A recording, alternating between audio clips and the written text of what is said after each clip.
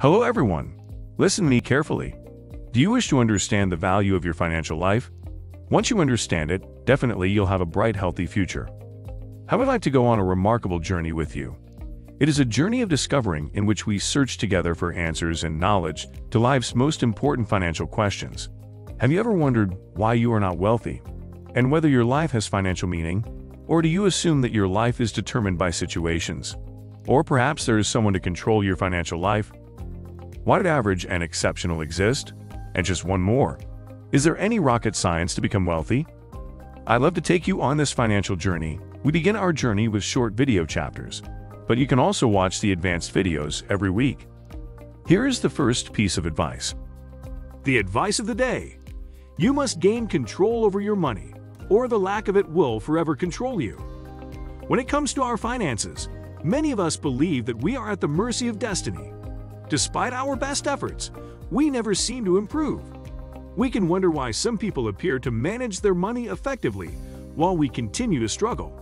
The reality is that managing your finances effectively is one of the most important aspects you can do for your financial future. The capacity to make financial decisions that benefit you is known as financial control.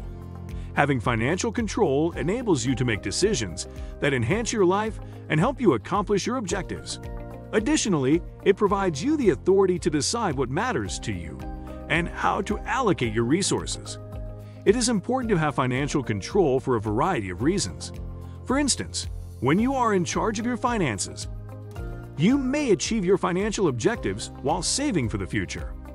You can manage your debt more effectively and pay it off more quickly. Both now and in retirement, you can afford to live the way you want you can increase your money by making smart investments. How to take control of your money. There are numerous things you can do to take control of your money and improve it. Here are some clues. 1. Keep an eye on your spending. You may choose better ways to use your money if you know where it is going. 2. Make a budget and follow it. You can maintain control over your spending and accomplish your financial objectives by using a budget. 3.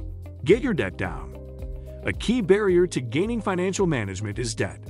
Make a plan to pay off your debt as soon as feasible as a starting point. 4. Invest in yourself. You can earn more money and reach your financial objectives more quickly with education and training. You have the ability to gain financial freedom and retake control over your money. Although it won't happen instantly, you may start making little changes today that will add up over time. I hope that this video has provided you with some starting points. Good luck all!